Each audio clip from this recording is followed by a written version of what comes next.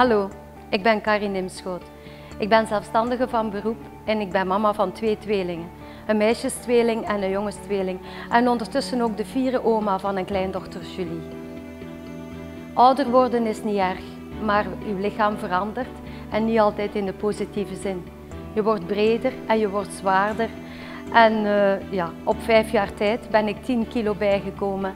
En gelukkig kwam Faveo op tijd voor mezelf. Toen het programma is voorgesteld, wist ik dat dit ging slagen. Door de supplementen die met zoveel zorg zijn samengesteld. Door de simpelheid van het programma, iets dat iedereen kan volhouden. Hier kunt u u goed mee voelen.